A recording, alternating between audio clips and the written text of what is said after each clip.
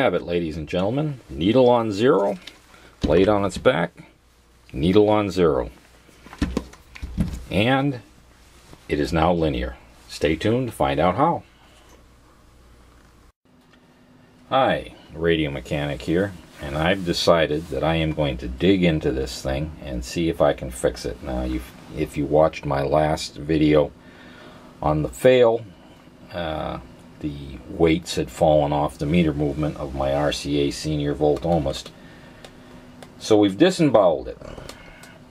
And over here we have most of the guts exposed. Very clean inside. This meter obviously was taken care of.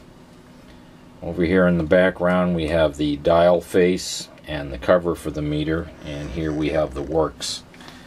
Now unfortunately when I got in here what I found out was the only weight still on it was here and the reason that that adjustable weight was on there is this heavy brass tail weight that's still or that's soldered on not still on soldered on the adjustment weight, however, was freely floating up and down the shaft of the needle, and both of the side weights are missing.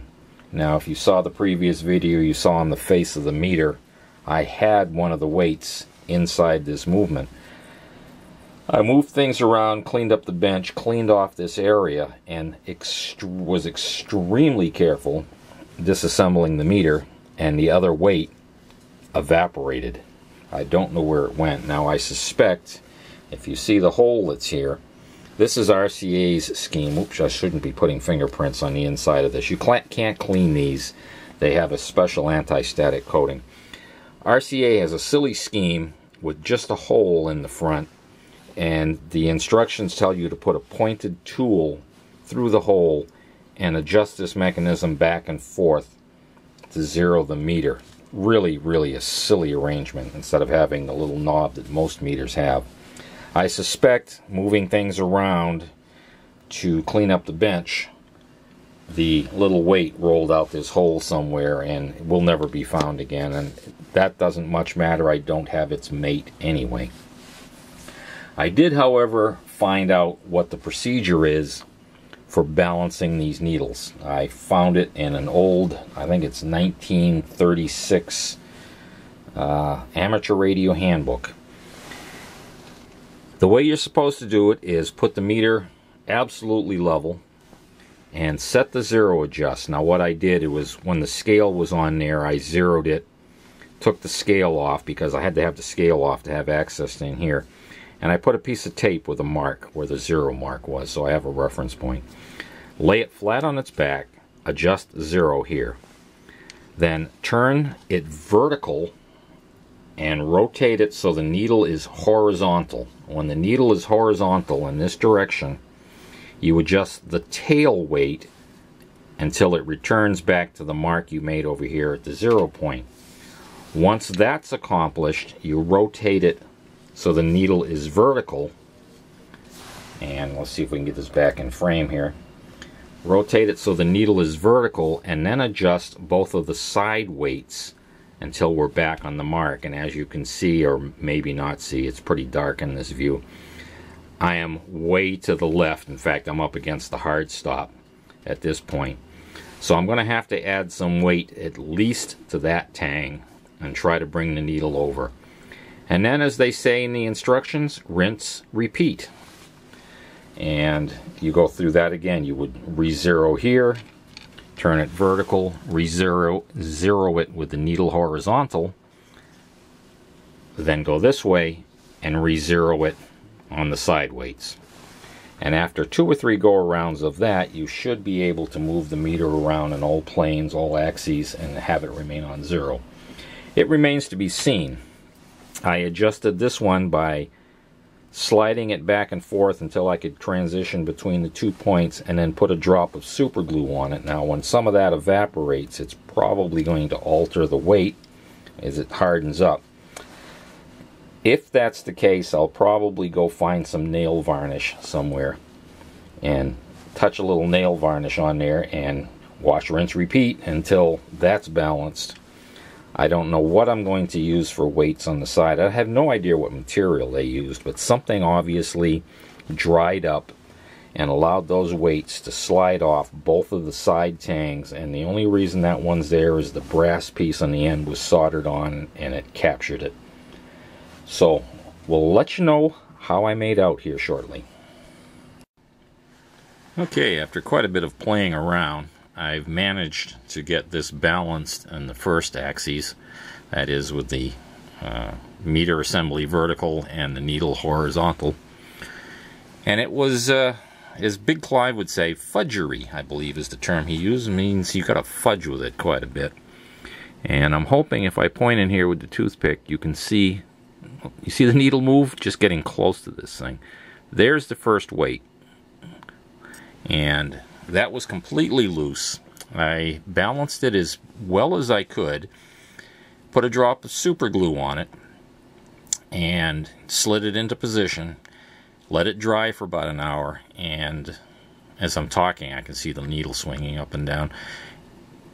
As the super glue dried and the volatile parts evaporated, the balance changed ever so slightly. So then I took a little bit of RTV, or a silicone uh, sealant, and put just a tiny, tiny bit on the end of the toothpick.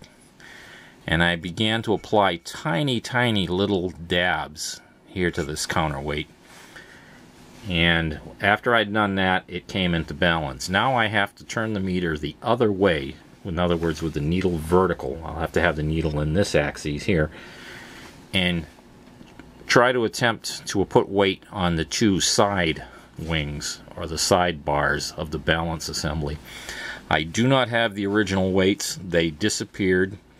I broke open a light bulb thinking the coiled filament of a light bulb being made out of tungsten.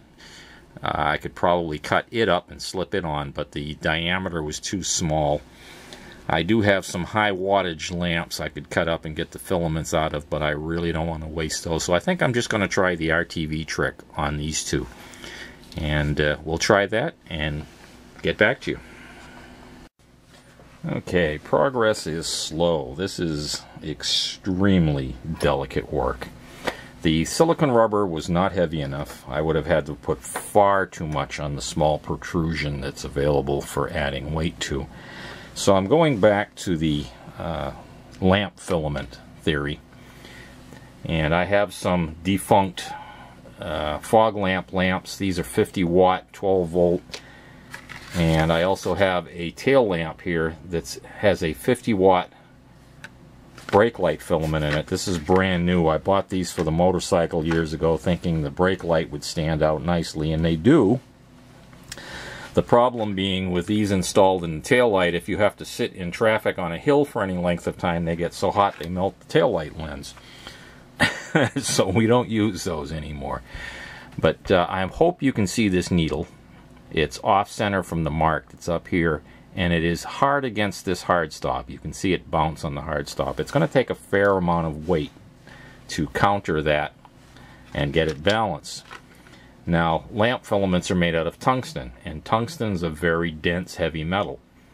And it's of the right shape. It's in a coil. So if I can find one of these that will fit over the small stub that is on the side, and I don't know if you're going to be able to see this or not. There's a small wing right here, or protrusion, and there's one on the other side. But I need to add a considerable, considerable, blah, easy for me to say, amount of weight to this side to bring this needle back over into the center position and, and counterbalance it. So I'm going to go off camera here a little bit, break these lamps open carefully, try to preserve the filament, and we'll see what the results are here in a minute or two. Okay, the 15 watt filament was just a little bit too small in diameter. The 50 watt filament, that's 5-0, was ever so slightly large. But being tungsten, you can see it in there sitting on the uh, crossbar. Being tungsten, it was heavy enough. Uh, it's about half the filament length I cut off. And it has brought the needle into balance with the needle pointing up vertically.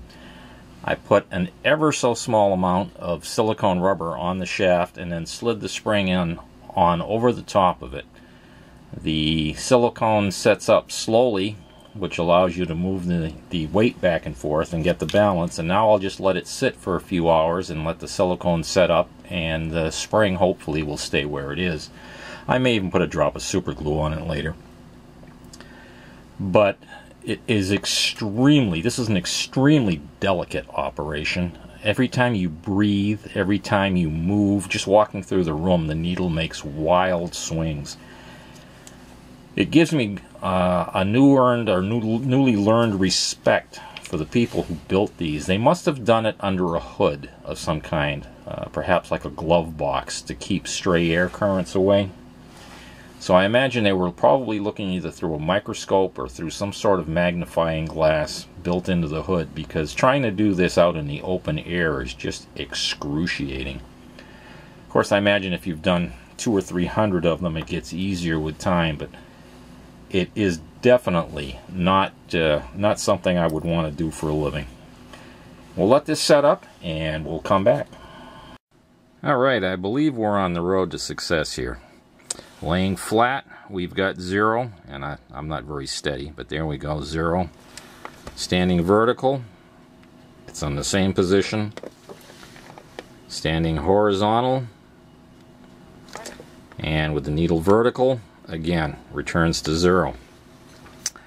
Hopefully, when I get this back together, the meter will now be linear across the scale. If it doesn't, I'll probably go jump off the roof. No, I'll throw the meter off the roof old girlfriend of one of mine once said, I don't get suicidal, I get homicidal. And she wasn't kidding. So we're going to put this back together. I don't think you need to watch me solder everything back together, but we'll get it back together and we'll see what it looks like once the meter movement's in. And we're back. Now it's time to find out, are we hero or zero? This will be done live in front of you and let's see 50 volt range it's 25 volts uh, oh I should zero this before we start because everything's moved around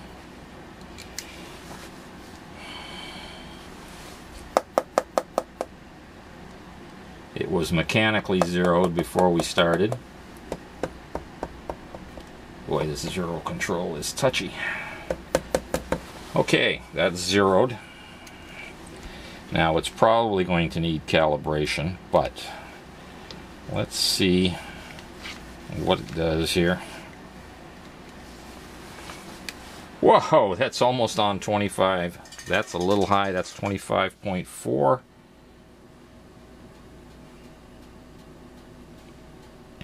25.2, 25 point, let's bring it down. Okay, it's still off by about 300 millivolts. I don't know if you can see that or not, but that's a heck of a lot better than it was and it isn't calibrated yet. That may be part of the problem. Let's turn it up to 50 volts, which is the calibration point. There's 50.76, come on. I'm looking over here at this meter to uh, dial in the voltage exactly. And we can even get another digit here.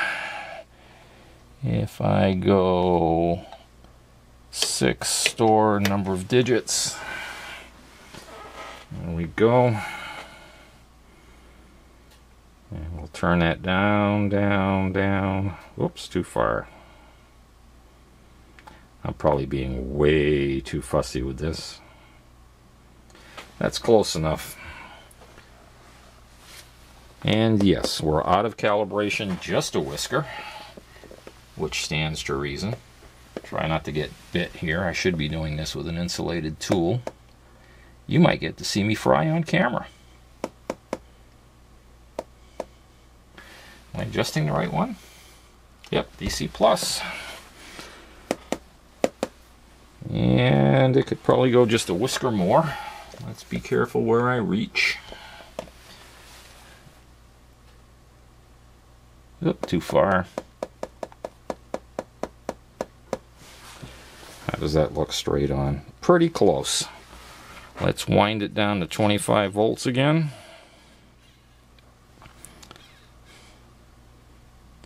It's 24.457, 8, 9, 25002 and it's probably 100 millivolts low. That's a whole lot better than the volt and a half it was low before. And that's probably within the specification of the meter, although I do have to say I think my Heathkit one is a little bit more accurate. But I'll live with that. 100 millivolts versus a volt and a half. That's a substantial improvement over what it was before. So there you have it.